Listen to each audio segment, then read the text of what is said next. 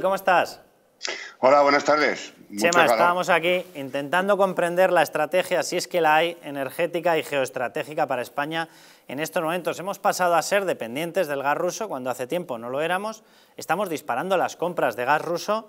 Eh, bueno, amén de que obviamente eh, cuestión de precio ha mediado y de que nos hemos cargado nuestras relaciones energéticas con Argelia. ¿Hay alguna explicación medianamente normal a lo que estamos haciendo en estos momentos? Bueno, ya sabes que mi opinión eh, en relación con todo lo del Magreb, que se lleva caminando erráticamente desde hace mucho tiempo, pero mucho tiempo. Eh, no obstante, en relación con todo lo que tiene que ver con el gas, yo creo que estamos dentro de una, de, una dinámica estratégica, si me permites la expresión, no sé cuánto de estratégico hay todavía en todo esto, pero yo creo que estamos en una dinámica eh, estratégica por parte de la Unión Europea que está acelerando todo el plan Repower European Union, ese ese plan de transición que se quiere acelerar a la velocidad del rayo eh, y que este año todavía yo creo que va a ofrecer paupérrimos resultados eh, y se va a traducir en que tendremos, eh, seguramente no tanto en España, pero sí en el conjunto de la Unión Europea tendremos algunos problemas, pero ha optado por, por la diversificación necesariamente. hay que pensar que siempre se maneja Estados Unidos, es verdad, en Estados Unidos, España y tal, pero si abrimos un poco más el foco, veremos que se está trabajando, eh, y sobre los cuales no se está hablando mucho, eh, en, unos, eh, en unos tratados bilaterales en relación con países de lo que se llamaba o se llamó siempre el África Negra, como Tanzania, Nigeria, Egipto, Congo. Egipto no es el África Negra, pero también está dentro de este pool de países en los, con los que se está trabajando, Congo, Angola, y muy particularmente Alemania está cerrando unos tratos muy, muy importantes en relación con Emiratos Árabes eh, y vamos a traernos el gas pues, de, estos, de estos gas y petróleo, de estos eh, mercados emisores, eh, unido a lo que bien mencionabais y describíais de Estados Unidos, que se produce por fracking. Aquí somos especialistas en comprar lo que nosotros no queremos hacer y podemos hacer. el petróleo por fracking, el gas por fracking norteamericano y, la energía eléctrica nuclear en, en Francia. Eh, Europa debe, yo creo que ha dado algunas señales mínimas, pero debe cambiar desde luego su estrategia. Eh, es necesario ir hacia esas energías renovables que pueden ser, en fin, desde luego sostenibles en el tiempo y sostenibles económico, eh, económicamente, desde luego. Pero hoy por hoy hay que plantearse que la energía nuclear, como bien ha hecho la, Unión Europea, es una energía verde y la energía nuclear no es algo que debamos despreciar en modo alguno. Ahí tenemos a Francia y veremos cómo va a implementar su, su capacidad productora. Eh, estamos en, un momento en el que el gas, y el, gas sobre todo, eh, supone un reto. Lo que estamos viendo, eh, casi como, como una voz de alarma, ¿no? es el plan de contingencia que, se, que tiene que adoptar determinados países europeos, sobre todo en relación a este futuro inmediato. Pero yo creo que mm, vamos a caminar direct, vamos a caminar sí o sí a romper esas hiperdependencias que tenemos energéticas. O sea, ¿tú crees que sí que hay una posibilidad de que Alemania solucione sus relaciones, solucione su, abanico de proveedores y no nos veamos abocados a este desabastecimiento? Yo creo que se está trabajando muy intensamente en esta cuestión.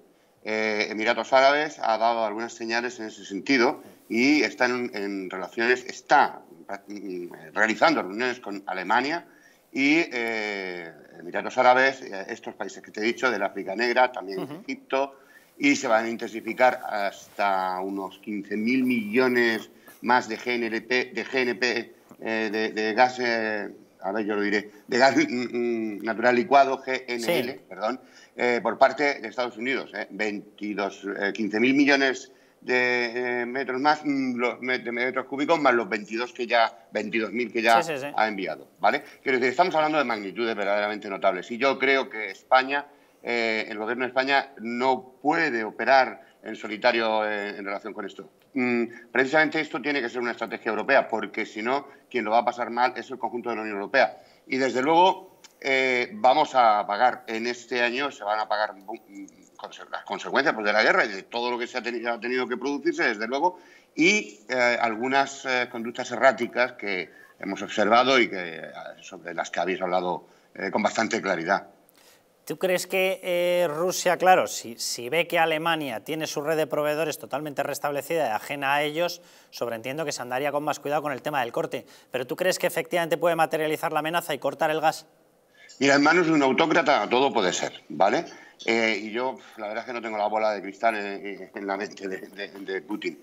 Pero yo creo que en estos momentos ya está notándose mucho esas medidas, esas sanciones económicas, que desde luego repercuten sobre quien las emite, pero van a tener su, su especial importancia dentro del contexto ruso, se están notando en relación con el desempleo, van a tener una inflación absolutamente desbordante, todo esto se va a notar. No creo que Rusia pueda eh, puede permitírselo relativamente. Bueno, puede, claro que podría permitírselo. Sí, porque ellos, que todo, el mercado asiático es suyo, si quiere, y además, eso sí, eh, sería mm, quedar a, a, disposición de China definitivamente. China impondría el precio y China se lo quedaría todo. todo eh, China, toda la energía que pueda, la va a comprar. China es la fábrica del mundo eh, y por eso mismo, porque la fábrica del mundo, yo creo que tampoco le va a permitir a Rusia eh, muchos más tesmanes que puedan afectar a la economía internacional, porque si no se acabó también la, propia.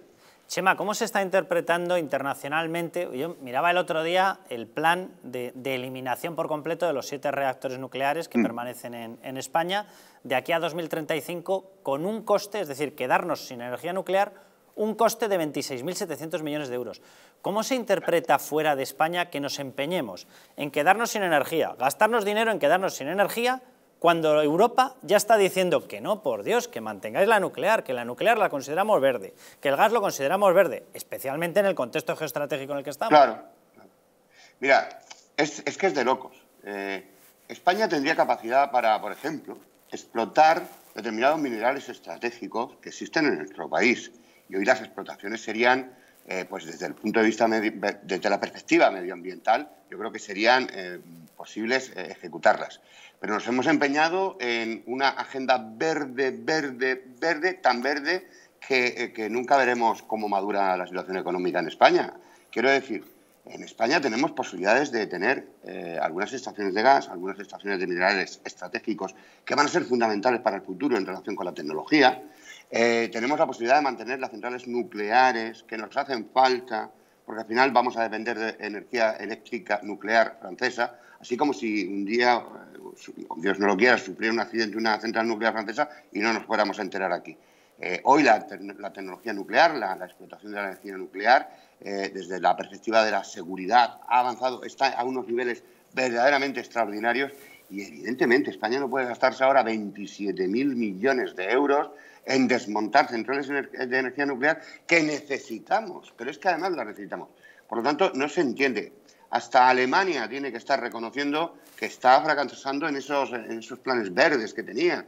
Eh, vemos Austria como el carbón vuelve a ponerse activo. Vemos cómo Alemania el carbón lo tienen ahí. Eh, quiero decir que en ese sentido nosotros no podemos eh, abordar el desmantelamiento de las centrales nucleares, no deberíamos, eh, estamos haciendo el ridículo porque nos hace falta, porque es un dinero impresionante el que nos cuesta desmontar estas eh, centrales y, sin embargo, con una inversión adecuada eh, podemos seguir produciendo energía limpia a unos precios razonables y que podemos hacerlo aquí en España y que seguramente deberíamos intensificarlo. Yo, desde luego, en, este sentido, creo que Francia en ese, sentido lo ha tenido siempre más claro, pero en estos momentos pues lo tiene meridianamente claro e incluso ha apostado por unas, eh, la producción eh, eh, de, energía eléctrica a través de energía nuclear, de, centrales verdaderamente pequeñas e incluso posiblemente móviles. Se está trabajando hasta en ese sentido.